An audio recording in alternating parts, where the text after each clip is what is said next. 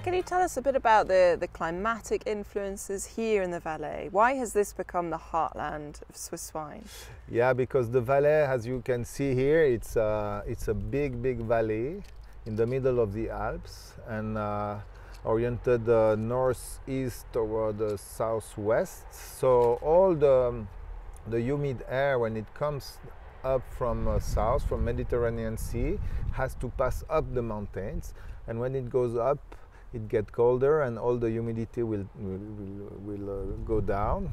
Snow or rain and here in the middle of the valley it stays very very dry. Mm -hmm. so we have about uh, 500 millimeters of, of rain per year here down. So it's as it's as dry as south of france.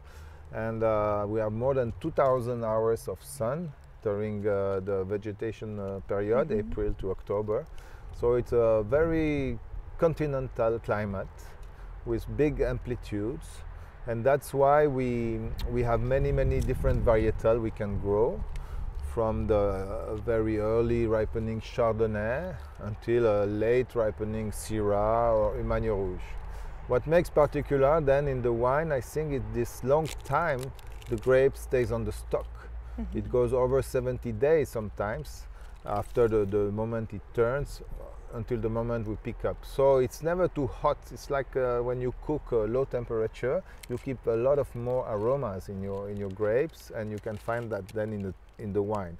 So the wine stylistic in Valais is mostly oriented uh, on uh, elegant, fruity, uh, mineral wines, mm -hmm. and uh, that that this this northern latitude uh, continental clim climate uh, gives us. Excellent.